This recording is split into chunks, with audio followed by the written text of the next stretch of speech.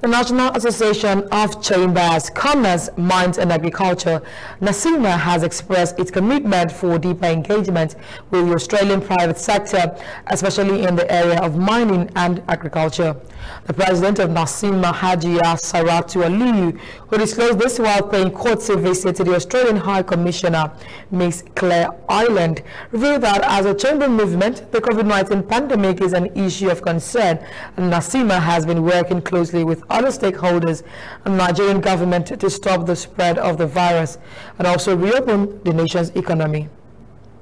In this regard, NACCIMA sees the Nigerian mining sector as an area of the economy which can make significant contribution to reboot the Nigerian economy and also assist in the quest for diversification.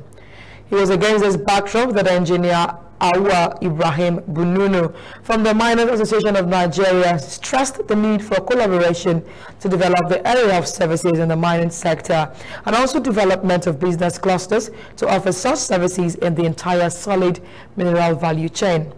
In a response, the Australian High Commissioner Claire Ireland mentioned that the High Commission is working on a five-year engagement program with the private sector in Nigeria, which will see the provision of technical assistance, investments and equipment in the area of services for the mining sector.